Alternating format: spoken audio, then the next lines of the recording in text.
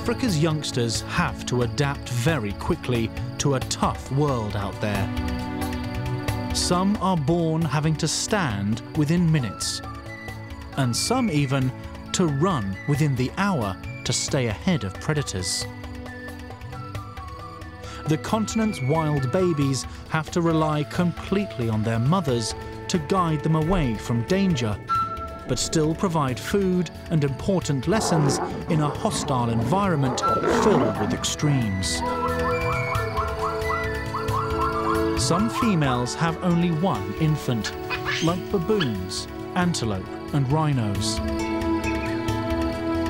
while more than one offspring is par for the course for predators like lions and hyenas. Hyenas usually bear litters of up to four cubs, and special only to hyenas, they are born with their eyes open. Like all mammals, hyena cubs drink milk. But the milk of a mother hyena is very rich, and newborns can even go a day or two without it due to the high fat and protein content. Milk content amongst wild mammals varies as each species produces its own special blend, best suited for their offspring. Hard to believe, but rhinoceros milk is very low in protein and fat. It is high in carbohydrates, probably in preparation for the youngster's life as an all-day grass eater. Elephant milk, on the other hand, is extremely high in fat and proteins, containing a hundred times more protein than that of cow's milk. Giraffes are the tallest animals on Earth, so a baby giraffe is born at the height of a large human. These youngsters are learning to wean themselves from milk, but it's quite clear the youngest still prefers his mother's milk. Growing two inches a day, a giraffe calf doubles its height in a year. During all this time, it stays close to its mother, as baby giraffes are easy meals for Africa's large predators. Many calves do not survive their first week. Mothers try desperately to even the odds by teaching their young how to hide by using their clever camouflage patterns on their skin.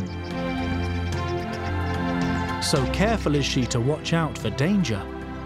She only sleeps 30 minutes a day, broken into six five-minute naps. Many new mothers across the planet sacrifice their sleep time but nothing comes close to a giraffe mum. African wild dog puppies receive food daily from their parents. This is fresh meat, literally minutes old from a kill nearby, so there is little risk of disease as the dogs tend not to scavenge like hyenas at carcasses.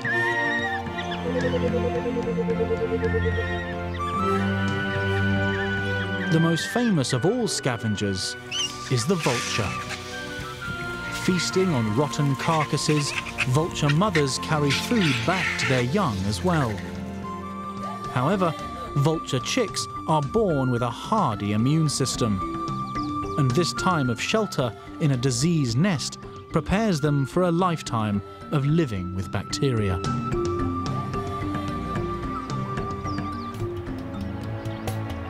elephant mothers are not alone in guiding their young. They live in a matriarchal society, so other females help care for a new mother's calf. By watching the adults, the elephant youngsters learn how to access waterholes, as well as which plants to eat. It is now known that elephants self-medicate from wild herbs, so these are important lessons. On this planet that we all share, it's important to know that humans aren't the only ones who take extraordinary steps to care for their young.